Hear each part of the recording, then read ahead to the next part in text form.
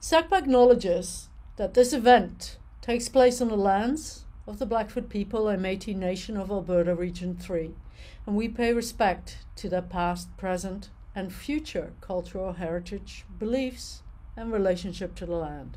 SACPA commits to assist reconciliation efforts by raising awareness of the ways past and present injustices can be reconciled. Our speaker today is Marie Moyer. Marie is the um, assistance coordinator for the L'Arche Association of Lethbridge. And when you mean, mean assistance, these are young people or adults who come from various parts of the world, including Canada, to work with people with intellectual disabilities. Uh, she has had a long career in this field. She's been with L'Arche for the past 20 years. Uh, she has degrees in theology and anthropology and is brings a lot of compassion and strong commitment uh, for working with people with intellectual disabilities. Her topic today is people with intellectual disabilities and the ongoing quest for belonging. Marie?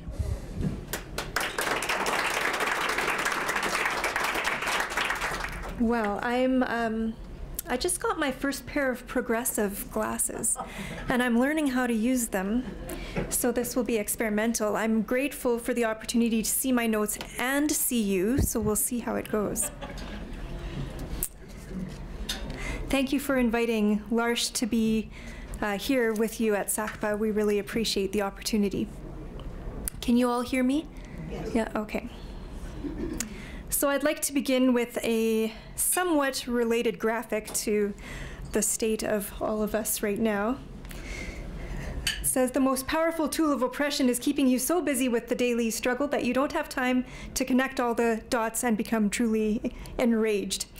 Um, I'm not a person who connects easily with rage, but the last few years have been especially intense. And uh, while the pandemic sent some people home wondering what to do with themselves, people in my field had to double down under some very challenging circumstances. And it's not really let up since. So I would have loved to have um, the luxury of more mental space to prepare this talk today. But as it is, um, what you're going to get is some stories and observations and the beginnings of some thoughts that I hope, if they spark your interest, um, that you'll find the time to pursue a little further. Also, before I jump too far into my topic, I'd like to know how many of you had previously heard of L'Arche. I see plenty of people who are involved with L'Arche here. All right, good. So we have some um, general understanding of what L'Arche is. How many of you had previously heard of Jean Vanier? Yeah. Um, for most of his life, from his 30s to his death at age 90 in uh, 2019, Jean Vanier was known as the founder and the face in many ways of L'Arche. Um, he began a home along with two men with intellectual disabilities, Raphael Simi and Philippe Seux, who are here um, in a small uh, village in France in 1964. And he named the, the home L'Arche, which is the French word for ark, like Noah's Ark, a place of refuge. They had previously been living or been shut away in an institution before they came to L'Arche. So, one more question. How many of you know why Jean Vanier is now considered a somewhat difficult figure with whom to associate ourselves? a little bit fewer, but quite a few of you. I don't really want to get into that right now. I have limited time and I'd way rather talk about someone else. But if you would like to, feel free to bring that up in the questions later. The person I would like to introduce you to today is Kara. Kara is a woman with an intellectual disability living in one of our homes here in Lethbridge. She lives with three other women with intellectual disabilities, whom we at L'Arche refer to as core members. I really like this term because it points to their place of prominence and belonging in our L'Arche communities rather than labeling them according to their limitations. L'Arche would not exist if it wasn't for them. They're truly central to who we are, the members of our community who are at its heart. Kara also lives with a group of assistants, like Bob was saying.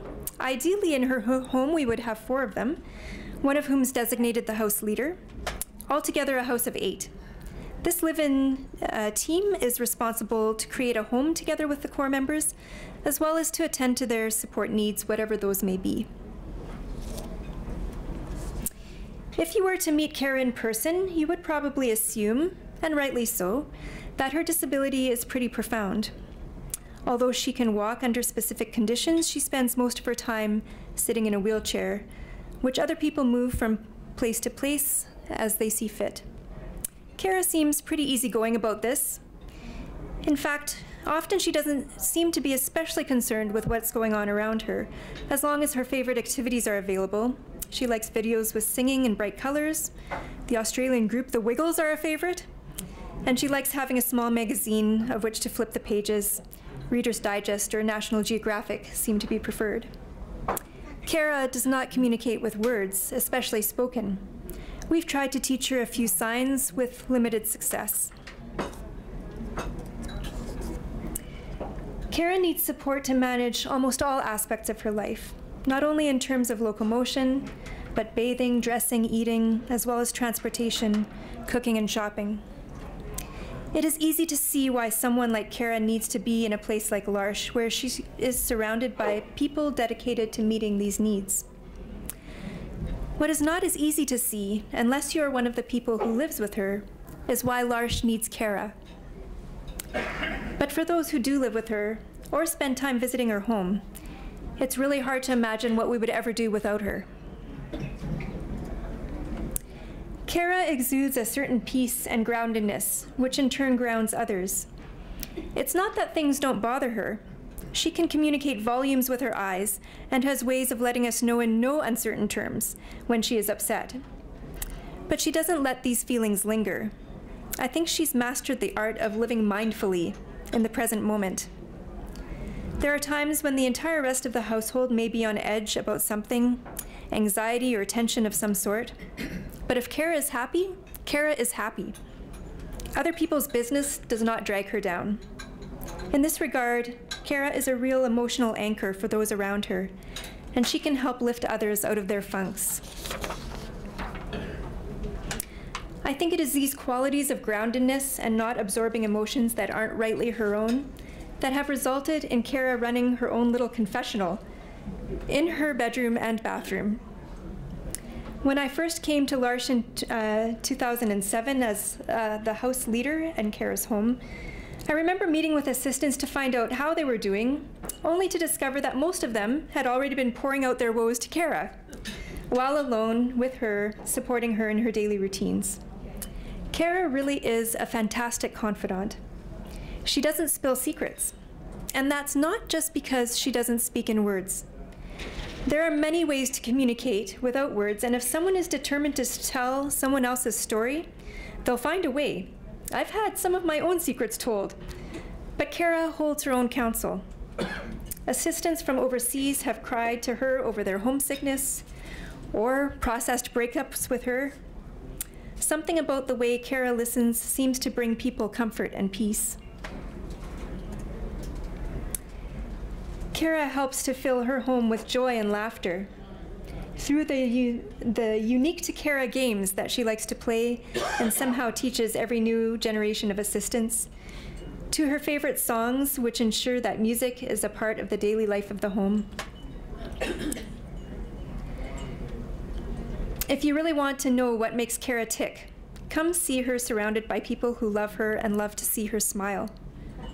They will do increasingly foolish things setting aside all their own dignity and decorum, only to be met by a bland stare for minutes on end. Until suddenly a little tug at the corner of Kara's lip as though she's trying really hard not to smile, but just can't help herself. And finally, she gives in, and we're rewarded with her beautiful smile, rocking in her chair and clapping her hands, Kara's way of communicating joy.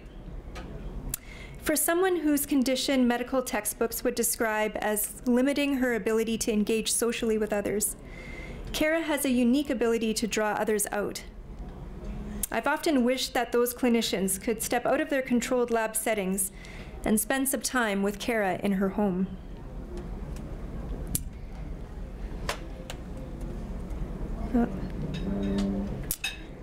One day back when I was the house leader at her home, a community nurse came over to do some blood work for Kara. Kara was not too pleased about this and kept determinedly pushing the nurse away.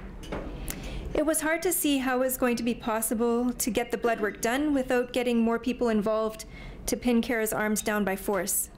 This kind of restraint can be traumatic for everyone and ideally would be avoided if at all possible.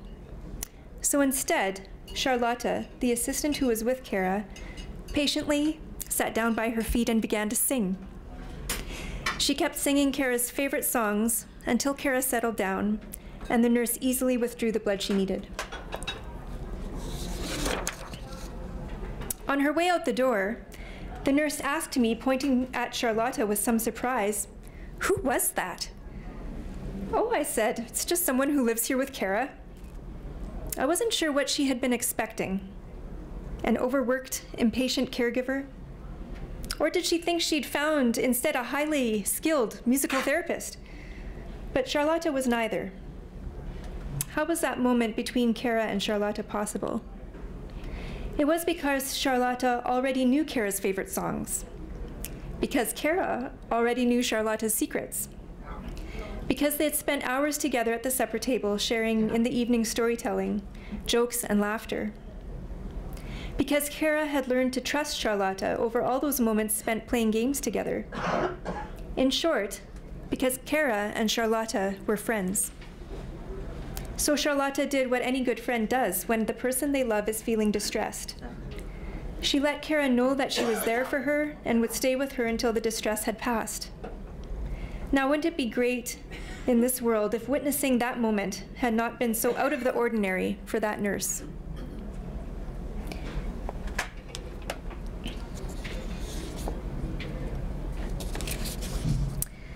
These are the kinds of friendships that are being forged in large communities all around the world every day.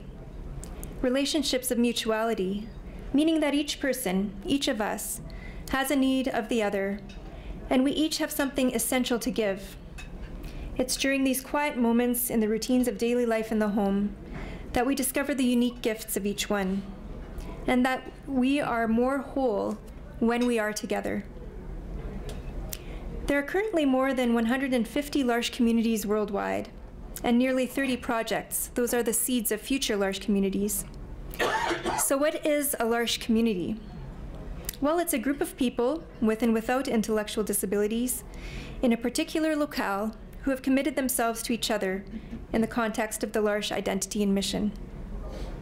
Some people commit themselves for a short term, like the university co op students who come and join us for four months and others, like Kara, for a lifetime. Like Bob mentioned, I've been part of the community in one way or another for over 20 years. Each community has its own leadership and usually one or more homes. The leadership also includes a board of directors. And many communities also have a day program or workshop or some kind of social enterprise project. Here in L'Arche Lethbridge, we have three homes, like the one in which Kara lives, located here in the city. Our L'Arche Lethbridge community includes both the core members and the assistants living in these homes, casual respite workers who come in to provide extra support as we need it, the leadership team, board members, volunteers, and a group of other members and friends who have committed themselves to this venture and to each other and who enjoy hanging out with us. So here then is the essence of how L'Arche understands itself. This is the identity and mission statement, jointly created by all the L'Arche communities around the world who together form L'Arche International. It reads Our identity. We are people with and without intellectual disabilities, sharing life in communities belonging to an international federation. Mutual relationships and trust in God are at the heart of our journey together. We celebrate the unique value of every person and recognize our need of one another. Our mission is to make known the gifts of people with intellectual disabilities, revealed through mutually transforming relationships. to foster an environment and community that responds to the changing needs of our members while being faithful to the core values of our founding story. And to engage in our diverse cultures, working together toward a more human society.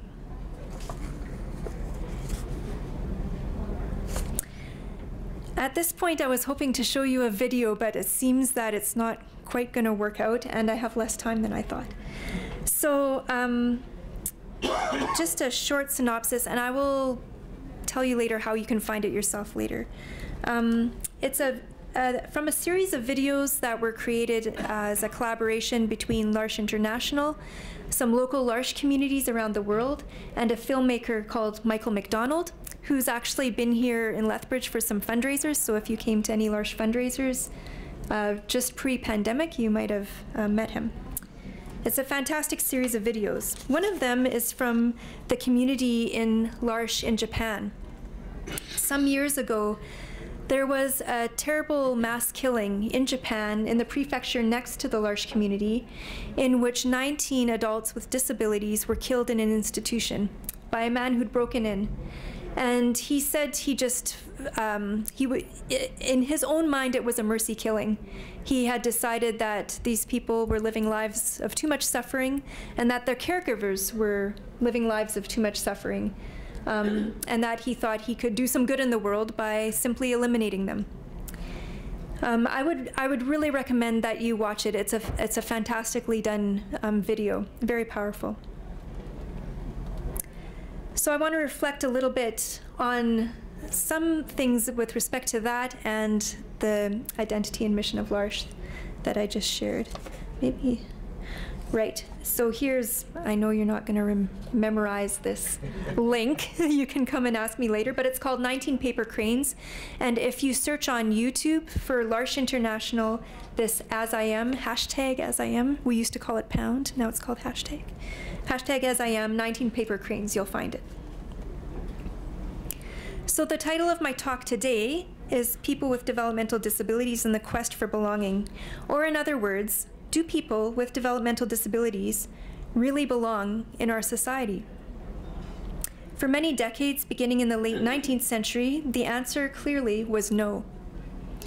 This was the era of institutionalization, when families with children with disabilities were counseled or even pressured to give them up to the state.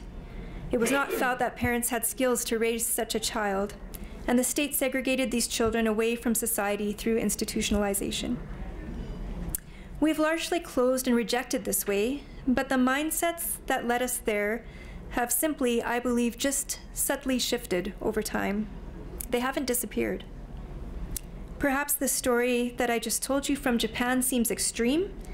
I followed this a bit in the news, and like many mass hate crimes, the perpetrator was suffering from what everyone agreed were delusions and possibly mental illness. However, if I think about that and other hate crimes, I think the seeds of the delusion or the kernels of the thought that have been taken to extreme ends generally exist more broadly in society by many other people who, of course, are repulsed of the idea of taking them that far. So I'd like to look at the mission of L'Arche in light of what I see as two pitfalls in our thinking that can mm-hmm. have very negative effects should we keep following them to their final conclusions. The first pitfall is the one of seeing people with disabilities as primarily or solely in terms of their needs or their neediness. This pitfall is so tempting because the neediness of others may invoke in us feelings of charity or compassion. Being touched by their needs, we seek to provide care and supports, which is a good thing. People like Kara obviously need support, not only to have a good quality of life, but to be alive at all. However, if we start primarily with the neediness of people, it is easy to discount their worth, especially in a capitalist society like our own. After all, what does Kara produce of any measurable monetary value? And if people with disabilities are not producing anything, are not even self sustaining, are seen only in terms of their needs,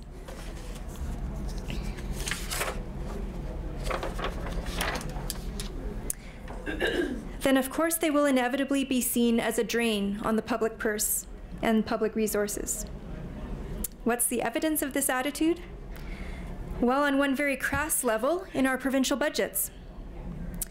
For years, AISH, Assured Income for the Severely Handicapped, the government benefit that provides a monthly income for nearly 30, 300,000 people with disabilities in Alberta, was frozen, leaving recipients to make do at sub poverty levels. Every once in a while, through some advocacy and some goodwill somewhere, it would see a one time increase. I still remember Bridget Pastoor publicly donating a portion of her paycheck as an MLA to various charities that served AISH recipients in protest of the fact that MLA's substantial income were indexed to inflation, while AISH recipients, who had barely any wiggle room at all, were not. Um, it wasn't until uh, 2018 when AISH was indexed under the NDP, after which it was immediately de indexed under the UCP when the economy took a dive. Now awash once again in cash, Danielle Smith's UCP are promising to re index it. You get the picture, up and down. Caring for needy people seems to be a luxury, an extra, not a necessity. Whereas ensuring that the salaries of highly esteemed people like MLAs are adjusted to consumer price index is seen as simply fair business practice. Meanwhile, many agencies who provide care and support to people with disabilities have not seen an increase of government funding since 2014. So that's irrespective of governing party.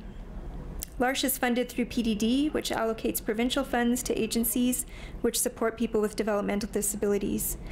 And while we're grateful to receive the stable funding rather than relying solely on donations for such vital things as salaries, groceries, or utilities, we're also very aware that we don't make it very high on the list of government priorities.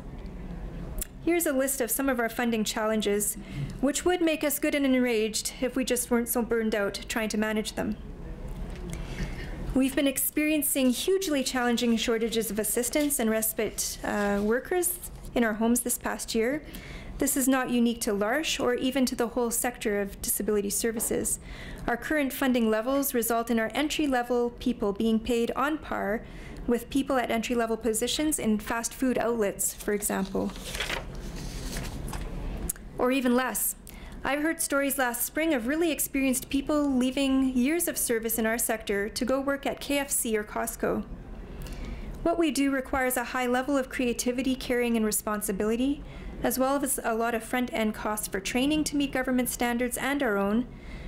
How can we attract the people Kara needs and deserves in her life if the level of support is so low and the level of responsibility is so high? People may come to us very motivated by ideals, but in the end, they still need to earn a living. We're also struggling as an organization. For example, our insurance has more than doubled since 2020 alone. The government has said that this is only the cost of living increases, and for some reason, that in itself is not worthy of providing more funding to cover these costs, even though they are a requirement of our contract with the government.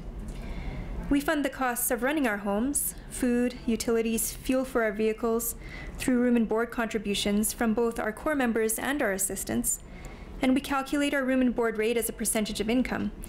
With AISH as it has been and wages at 2014 levels, how can we rightly increase our room and board?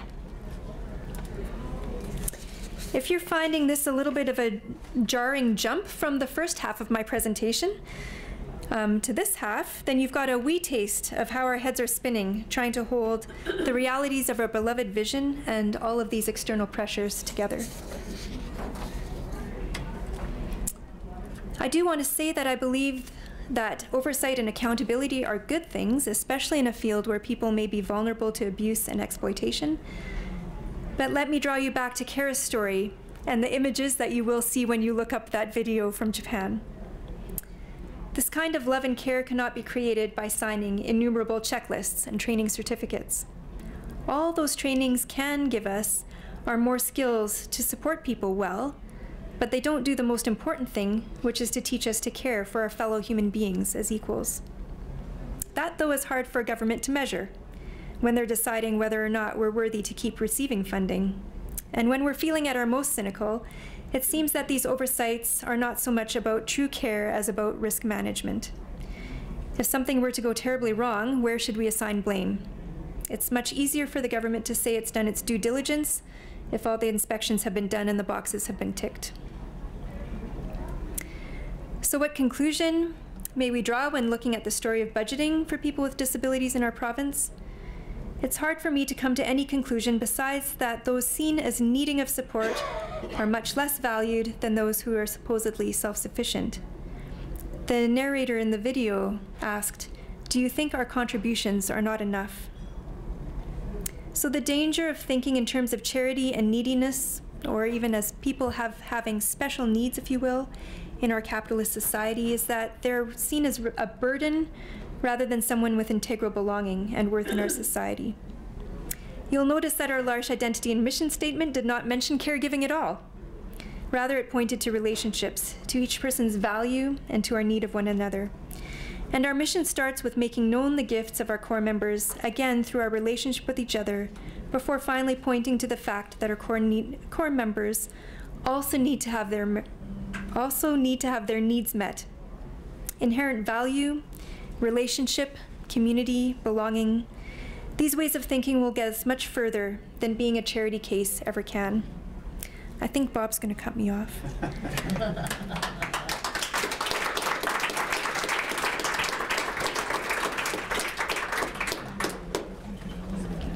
Thank you very much, Marie. You've given us much for thought and consideration, and we really appreciate it. So now it's your turn to ask questions. We ask that you keep your commentary and editorializing brief. Uh, get to the point and uh, ask your question. If you're a little timid about coming up to the microphone, you can write your question out and I will read the question for you if you like. So now the time is yours. So you make yourself comfortable there and It's, uh, uh, all stand You just stay right there and they'll, they'll come to you. Okay. You'll have to back up and go. Yes. Can I go that side? Yeah. Okay. For the first time in three times, I'm going to say my name first. it's Mary Shillington. Um, I need to tell you that I have been involved with L'Arche since 09 in various ways. So uh, uh, that, that's the background. Uh, I know that our people uh, come to us uh, permanently and they stay with us until they die. And so maybe you can explain a little bit about that, but also about how, uh, as part of the family, uh, that death is honored and so on.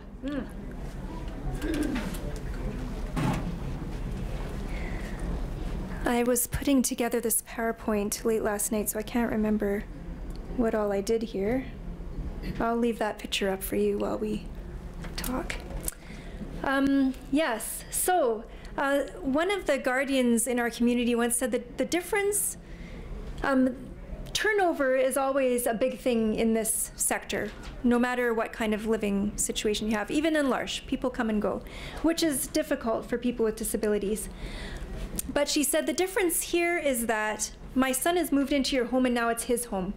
When things change, he doesn't have to move, other people do. And previously, every time some care arrangement had finished, he had had to move to a new home. So our L'Arche homes are people's homes, and they can age in place there. Um, and that is a special journey also for us too, to walk with people through that whole um, to the end of their lives. Of course, it's not easy. Um, we do have somebody in the hospital right now, and we're trying to figure out what things we need to put into place in, at home um, to to make sure that she can come home and that we can um, yeah attend to the things she needs well there um, but she uh, at one point she had been going to a seniors program uh, for people with disabilities and she let us know that she was not interested in leaving home anymore she's retired from that now so we listened and we put uh, the support in place for her to stay home and get up at 11 in the morning and have her cup of coffee or whatever and just live her retired life. So she kind of set the tone of what she wanted that to look like, and we figured out how to do it. Um, when people pass away in our community, we do find ways to honor their life. There's a lot of grief because they've been members of our family for many years. Um, so we often, pretty soon after somebody has passed away, get the community together to share some memories and just process things together. We've held um, funerals here in the city that L'Arche has been um, very involved with, although sometimes the people's families or guardians are, you know, it's a it's a collaboration together and um, and really done what we can to honor people's lives. Was that what you were wondering about? Yeah.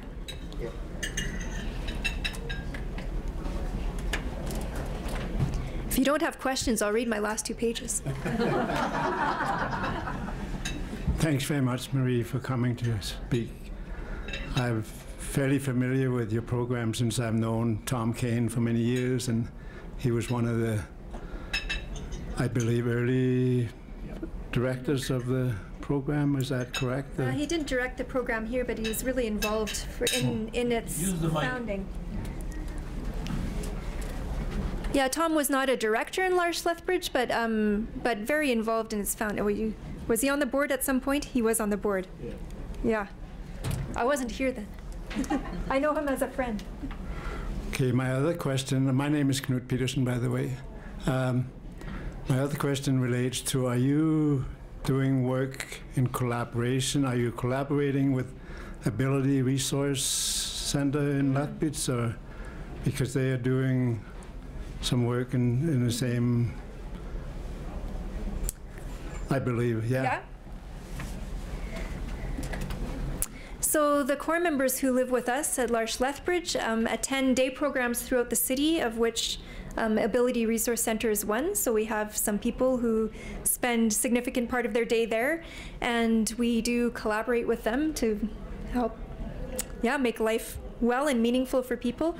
I think we haven't done as much collaboration as we might in terms of advocacy or things like that, but we do have a representative from L'Arche Lethbridge on the council I forget now the acronym for it, for disability service providers here in southern Alberta, which unites all of those groups, um, including ARC and L'Arche, to uh, for the common work that we need to do.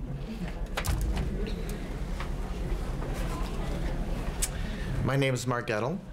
So recently we have legislation that allows people to decide when they would like to die. Mm.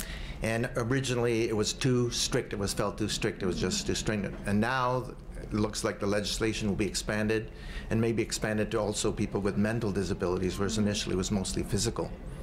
Now, a lot of people feel that this is a very slippery slope that will put pressure on those people that are burdened to their family or, you know, anywhere and that maybe this will be pushing them to make that choice. Also, the fear that the governments might just look at this as expeditious to, you know, it's costly to keep these people going. Yep. So, what is your view? what kind of safeguards can we put to prevent that slippery slope, but allow those people that are really suffering either mentally or physically yeah. to have that choice?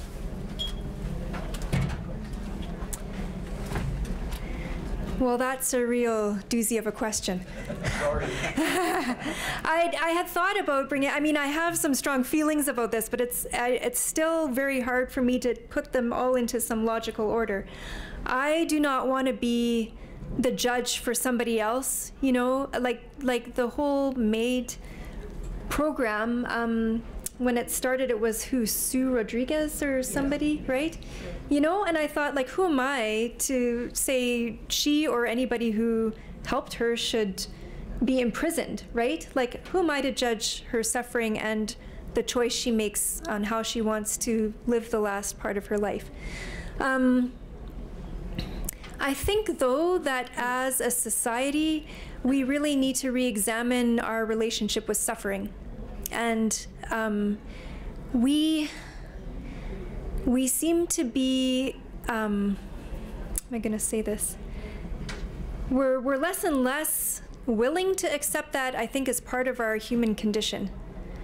And if, as a society, we can't come to some peace with that, then how, as individuals, will we see our way through those times in our lives when we face suffering And if we can't come to terms with it as a society, how will we walk well with people through times of suffering? Because you can't live those times by yourself. You need people with you, but if the people around you are scared to witness suffering, they are not going to walk with you well through it. Um, and we could do a lot of good if we came, if we made friends with suffering and saw where um, it can lead us to growth, how it can help us experience joy in a different way. Um, all of all of those things, right? Um, yeah, that's a very tiny little snippet, but I think I think we need philosophy and theology to attend to this question in our society. If you're wondering what we need to put in place, yeah. I, I have some thoughts that are kind of related to that, but they're long. So Just- unless you have no more questions, Well, I'll just, I'll just ask for a little clarification. Mm-hmm. What safeguards do we have for, for people, say, for example, core members in L'Arche, that somebody says, well, maybe we should do away with, you know? Yeah, well, back to back to our identity and mission. I think starting always with what is the contribution? What are the gifts of people who come? You know, we we don't always have an easy time with our core members. Sometimes things are really challenging. But I found I remember when I was on the team in the home and we were having a struggle somewhere. We sat down around the table and we started with let's name the gifts of this person. And people were really uptight about all kinds of details of what we needed to do. And people just closed their eyes. And then we started talking. And people started smiling. You know, like everybody has something that you appreciate about them. And if you start from that point, it's much harder to say the world would be a better place if this person was not there. Um, I think, again, it's it's your philosophical starting point.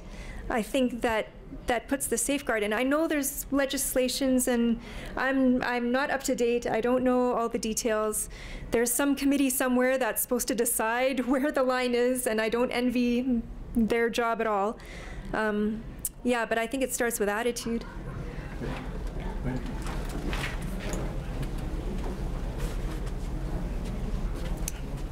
My name is Violet Meekma. Thank you very much for your presentation. Our daughter uh, was on the board for several years in Sudbury, and she has wonderful things to say about your organization. But I'm going to give you an opportunity to talk a little bit about the controversy of a couple of years ago, if you'd like. And uh, I, I, obviously, your organization has weathered that well. And I just wonder if uh, you have any insights as a result of that as to how organizations can deal with things such as those allegations, and also if you changed any of your practices or protocols as a result, uh, or educated people in a different way, or just uh, if you'd like to comment, I'll give you the opportunity. Thank you. Uh, so, for those of you who weren't paying attention to the news on that particular weekend in early 2020, um, what was revealed after um, an inquiry had, had been going on for a while was that Jean Vanier had been in emotionally manipulative and abusive relationships with at least six women without disabilities who had come to him for spiritual direction. Over the course of some decades, um, this had been happening. So, this understandably was an enormous shock. I mean, Jean Vanier was not only, I mean, he was very well respected and um, and honored in society at large, but also in L'Arche. And we were really proud to associate ourselves with him, right? Like this, he had a, a very prominent position, winner of many awards. So we were left like reeling. So what what do you do with that kind of information? I was very, very grateful for the leadership of L'Arche International at the time, who did not try to hide away anything that we had discovered. If you want to know the details, you can go look on the history timeline on L'Arche International website, follow through the links, and you can find the information there. They gave press releases to the press. It led on the CBC News here, and um, they just got out in front of it and said, "This is what we're living with." There it is. We unreservedly, unreservedly condemn the actions, um, and now we're left with what to do with it. The gifts that Jean Vanier gave and what he was able to help support, start um, in L'Arche are undeniable. We can't suddenly sort of sweep aside history, right? And nor do we want to. Um, but we have to hold those things in some sort of tension. And I think what it's done is really um, encouraged us to set ourselves free from telling our story as his story and tell it as our own. So maybe five years ago, if I had gotten up here, I would have started telling you about Jean Vanier. Today, I got up and I started telling you about Kara. And I think that is the right thing to do. I think it's a good thing, and I think in some unfortunate way, but it has um, given us a greater freedom to tell our own stories for ourselves. Um, so that's good. And um, I find when I talk to young assistants, who know nothing about Jean Vanier because we're not introducing people to him right away now or to his thinking and his books or anything, they're telling me the same things, the same sort of insights that Jean Vanier was telling years ago. Why? Uh, well, it wasn't really about him, was it?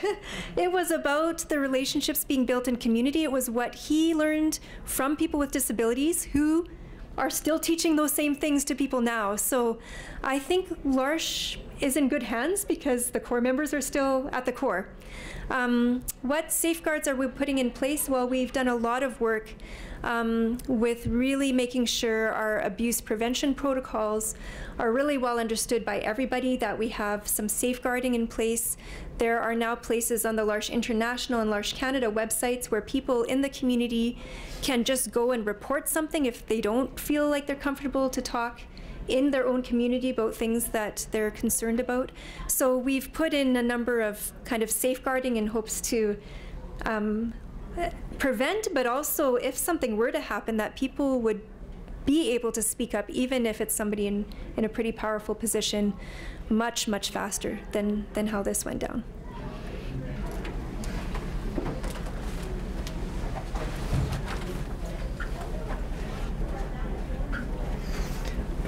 I'm Ian Hurdle, and uh, I think your parents in the audience should be bursting with pride because uh, you're so well spoken and erudite. Now, I.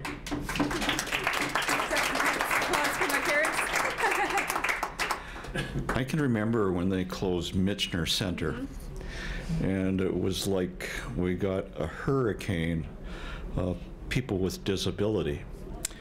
And I could see the caregivers in the system at a loss because the tsunami just overwhelmed even what group homes we had. Mm-hmm. But when I look at it, when we gave sometimes really simple medical care, I watched these people smile, look around. Sometimes a really simple operation, they were able to walk again. And I think we probably saved the system a lot of money whether they appreciate it or not. And I watched a lot of these people develop, and I see them on the streets right now. And I think your organization has sort of couched this and made it work. Thank you very much.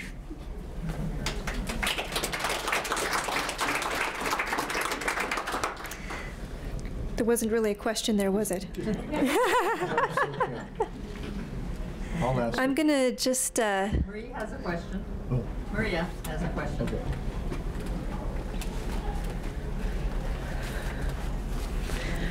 Uh, Maria Fitzpatrick, and thank you very much, Marie, for a really wonderful presentation. Uh, so there's two things. The first is uh, we consider ourselves a community here in Lethbridge. Mm-hmm. As a community, what can we do uh, to help? Um, volunteer, what any of these things. Okay, and then I'll. Okay, that one. And what's your second one? No, no, I'll get to the second oh, one okay, after. Okay. Yeah. Well, thank you. I was thinking I need the altar call at the end, right? Come forward, get involved. So I have put a few things up there. Um, like what I was saying in answer to some of these questions, I mean, the key point, the first thing is what are your relationships like with people with disabilities? Do you know any? Are you friends? Do you know what their gifts are? How they contribute? So, if you want to change the world, you have to start with yourself and your own relationships. If you don't have an opportunity, like uh, Dr. Hurdle to see people coming through your door. Um, you're always welcome to come join us at our prayer nights that are every Tuesday night and come hang out and meet us and get to know people.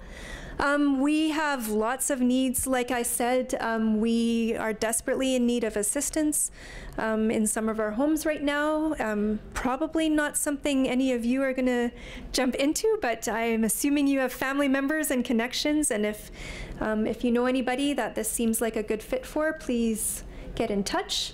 Um, we are gratefully accepting Christmas donations. So, uh, and all of these you can just get through to L'Arche Lethbridge on our website or call us.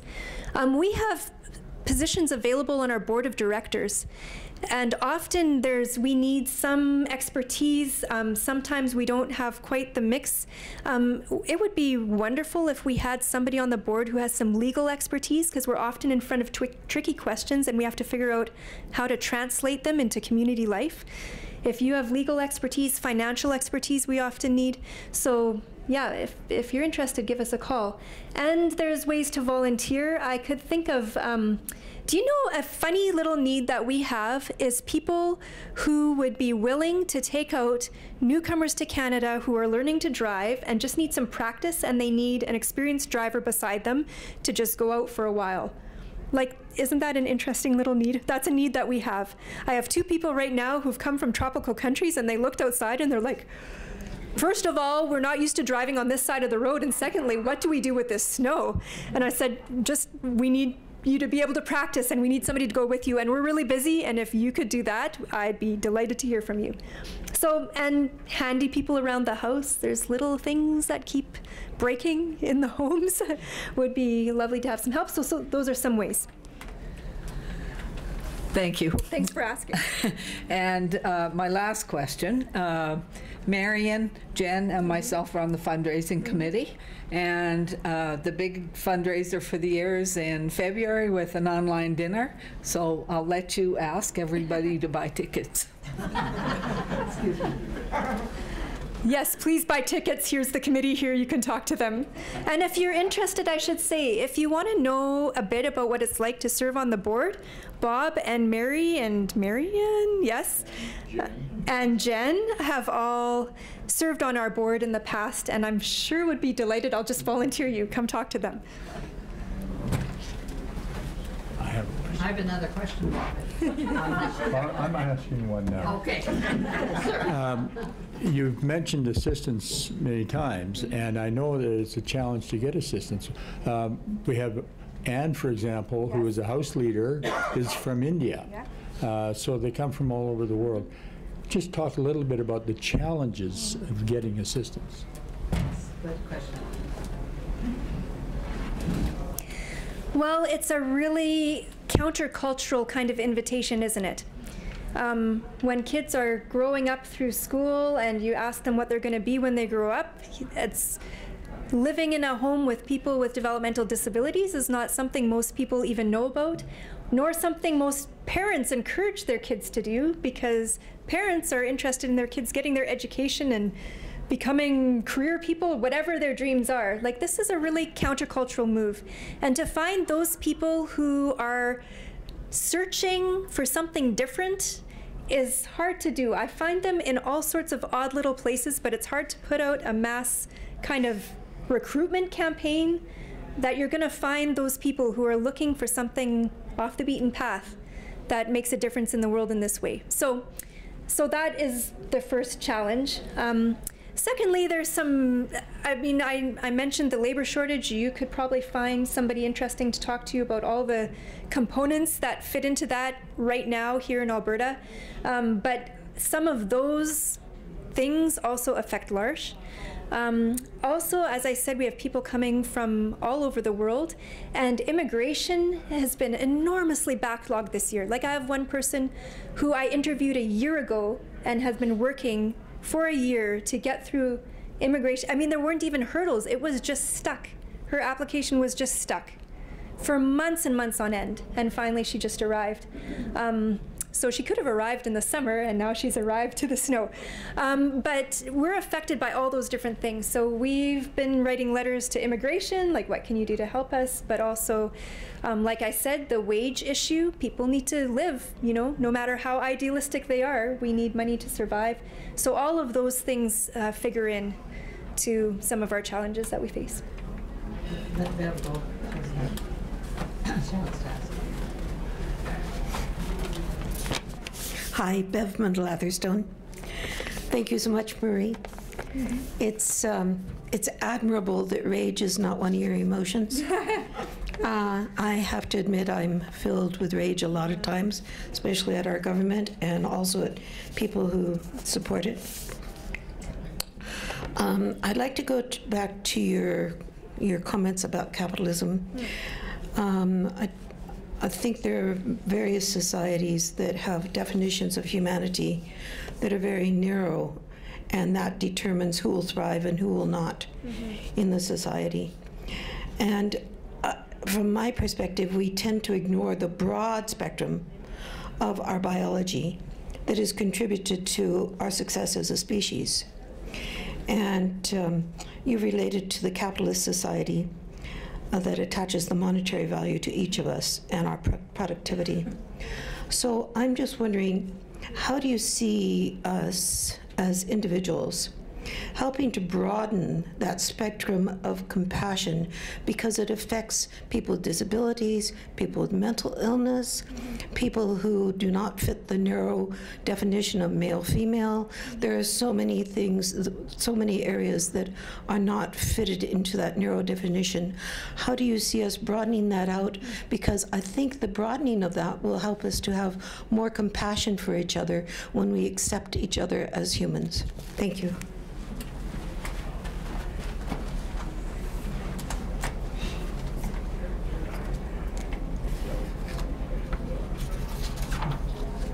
Chance to.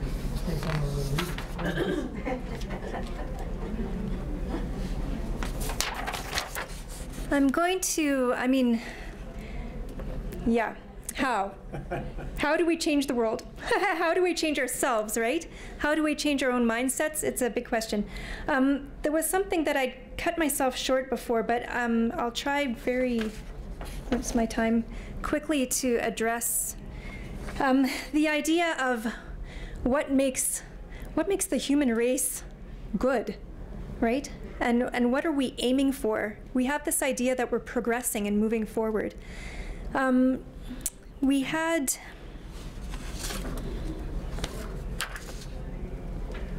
well I, I mentioned before the history of institutionalization um, that went hand in hand with the eugenics movement if you haven't already had claudia Malacrida come and talk here i think it would be well worth your while she's from the university of lethbridge um, and did a, a whole book about the institutionalization and eugenics what was eugenics about it was about good birth, right? Trying to prevent people who we thought were substandard humans from reproducing and creating more substandard humans.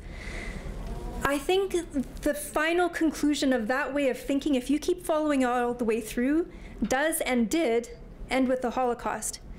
And what is often overshadowed by the number of Jews who were killed were the number of people with disabilities who were killed. The concentration camps actually started with people with disabilities, and then Jews were added, like the gas chambers. So I looked this up. Uh, I'm going to find that.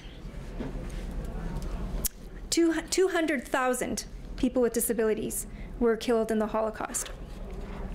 So, um, in the last line of our large um, mission statement, we read that our mission is to work together toward a more human society. People often mistake that for humane, as though we had made a typo. We didn't. Um, why? Humane, I think, it really limits us.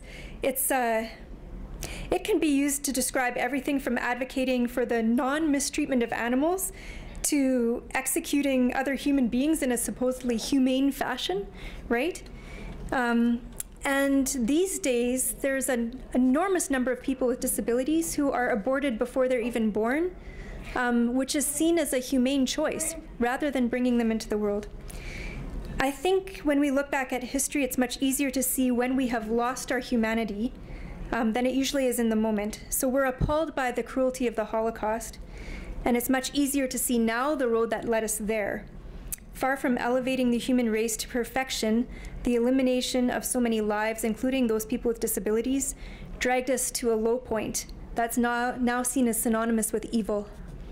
So, on the other hand, in L'Arche, we've discovered that the kind of community we end up creating when we build it around our core members moves us in the opposite direction.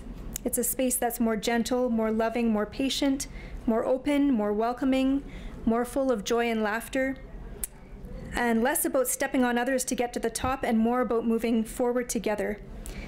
Will we achieve the pinnacle of human intellectual and physical potential by walking down this, this road to its conclusion?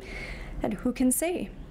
But what I can certainly say is that our path does not lead to the, this path, the path that we're walking in L'Arche, does not lead to the destruction of our souls, but rather to a deeper discovery of the good that's within us all. So I'll leave you with that.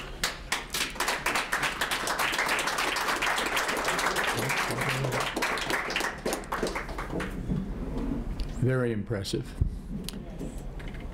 One last question, and I get that, and that would be, what is the final takeaway you want these fine folks to have today?